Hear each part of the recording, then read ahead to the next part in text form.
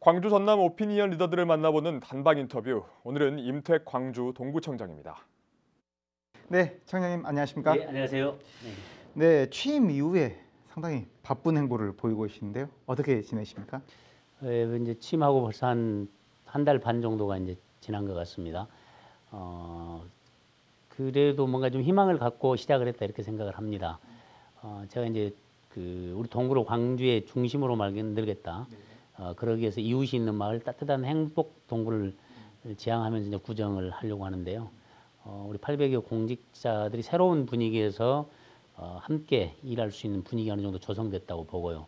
또 주민들께서도 그동안에 23년 동안 관료 출신들이 맡아온 구정이었는데 어, 민선 정치인 출신의 이제 구청장에 대한 기대가 굉장히 큰 것 같습니다. 그래서 어, 그런 기대가 있기 때문에 어, 민선 7기 제가 운영하고자 하는 구정에 대한 뭐 희망이 저는 보인다 이렇게 생각하고 열심히 하고 있습니다. 예.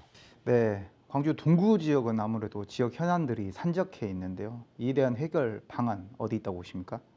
어, 우선 이제 동구의 지역 현안은 잘 아시다시피 에, 그동안 이제 쇠퇴한 도심을 어떻게 살리냐는데 뭐, 뭐 수십 년 동안 과제였습니다. 지난 한 20년 동안 과제였는데 어, 핵심은 그거라고 생각을 합니다. 예, 절대적인 인구, 상주 인구를 늘리는 것은 한계가 있기 때문에 에, 동구의 사람들이 찾게 하고 그걸 통해서 어떤 경제적 활력을 불어넣는 것이 어, 현재 현안이라고 생각을 합니다. 어, 그래서 우선 그 문화 관광적 측면에서 아시아 문화 그 전당을 잘 활용해서 어, 골목과 이렇게 연계해서 골목 상권을 활성화시키는 것. 그래서 상권을 좀 활성화시키는 게 있을 것 같고요. 이제 두 번째는 어, 정주 여건을 개선을 해주는 거라고 생각합니다. 에, 지금 재개발과 에, 도심 재생 사업을 통해서 어, 많은 그 활발하게 이제 개발 사업이 진행이 되고 있는데요. 이러한 것들을 통해서 살고 계신 주민들의 주거 여건을 개선해 드리는 것라고 보고 그다음 세 번째는 이제 어, 우리 동구민들의 어떤 삶의 질을 높여주는 거라고 생각합니다. 삶의 질이 높아지면은 어, 다른 자치구에 사시는 분들도 아 동구에 가서 살면 어, 생활 환경이라든지 삶의 질적인 측면에서 좀 나아지구나 이렇게 함으로써의 경쟁력을 키워갈 생각입니다. 네. 앞서 언급해 주신 현안과 관련이 좀 있을 것 같은데요. 네. 지난달 조직 개편을 통해서 문화도시 재생 추진단이 신설이 됐습니다. 운영 계획은 어떻습니까? 예, 문화도시 재생 추진단은 이제 크게 두 가지 방향인데요. 이제 문화관광 예술적인 분야하고 도시 재생 분야입니다. 어, 이 추진단을 이제 기존의 에, 과장급 부서에서 이제 한 단계 격상시켜서 이 두 개 과를 모아서 이제 그 서기관급 사급 부서를 만든 이유는 이 사업을 보다 강력하게 추진하겠다고 하는 이제 의지를 갖고 시작을 했습니다.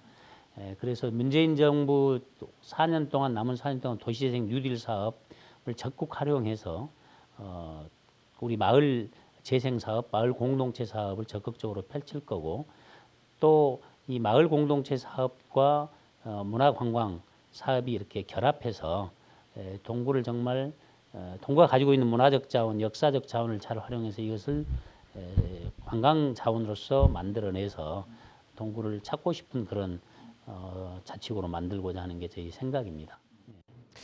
아무래도 골목 상권 활성화도 큰 숙제라고 좀 볼 수 있는데 여기에 대한 보관은 어디 있다고 보십니까? 어, 골목 아무래도 동구가 자영업 비율이 90%고 그 중에 이제 서비스업이 90%이기 때문에 골목 상권을 살리는 것이 결국 동구의 활력을 불어넣는 거라고 생각합니다. 우선 이 전담 부서를 두었습니다. 전담 부서를 어, 우리 그 재생과 내 골목 상권 활성화 팀도 생겼지만 앞으로 도시재생센터에도 그 부서를 둬서 이 부분에 중점적으로 추진하고자 합니다. 그래서 골목 상권을 7대 상권으로 분할을 시켰습니다. 에, 금남로와 중장로 상권은 뷰티, 그다음에 패션 산업, 어, 예술이 거리일 때는 문화전당과 연계한 문화관광, 동명동 카페 거리, 그다음에 대인시장과 남강주 시장, 그리고 이제 무등산 증심사건 이런 데를 각각 특성화시켜서 어, 이걸 또 연결하는 그래서 어, 전당을 찾는 사람들이 갈 곳이 별로 없다 이런 생각들을 많이 하셔서 전당만 관람하고 가시는 분들이 많은데 에, 그런 그 골목 상권들을 투어할 수 있도록 프로그램도 개발해서 상권을 서서히 살려갈까 생각을 하고 있습니다.